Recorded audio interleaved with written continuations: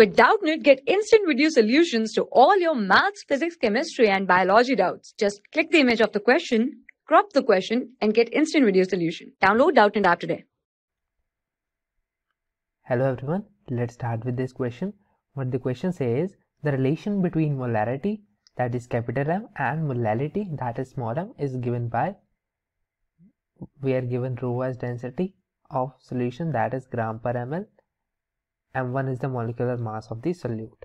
Now we know what is molarity. Molarity is the solute number of moles of solute divided by volume of solution in ml into 1000. So this is the formula of molarity and we are also familiar with the formula of molarity that is number of solute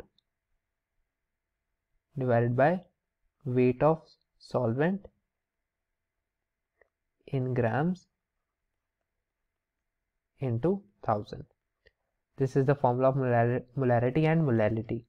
Now we have to find their relation and we are given the density. Now firstly we will let us suppose the volume of solution be 1000 ml now, if the volume of solution is 1000 ml, then molarity will be equal to the number of moles of solute. We will use this equation number, let this equation number 1. Now, we will put down in this formula, it will be small m is equals to cap solvent into 1000. We don't know the weight of solvent, we are given the molar mass of solute. Now we know we are given with density. Density is equals to mass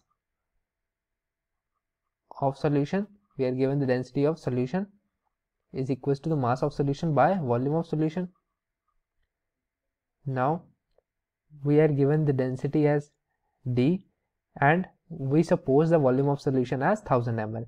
So the mass of solution will be equal to 1000 D. We will keep this aside. And also we know that weight of solution is equals to the weight of solvent plus weight of solute according to the law of conservation of mass. Now we got the weight of solution as 1000 D. So we will write it as 1000 D. Weight of solvent we don't know. But weight of solute. Now we know that number of moles is equal to the given weight over the molecular mass. Now, so the weight from here will be molecular mass into N and we know the weight of solute here will be equal to the number of moles of solute which is equals to the molarity. So we can write it as molar mass into the molarity. So we will use this plus molar mass into molarity. Capital M represent molarity and mm represent the molar mass. Now from here we will get the weight of solvent which will be 1000 D minus mm of solute.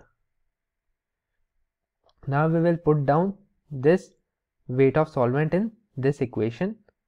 It will be small m will be equal to 1000 capital M divided by 1000 into D minus mm of solute. So this will be the formula relation between molality, molarity and density. So this is the answer. Thank you so much. For class 6 to 12, IIT JEE and NEET level. Trusted by more than 5 crore students. Download Doubtnut App today.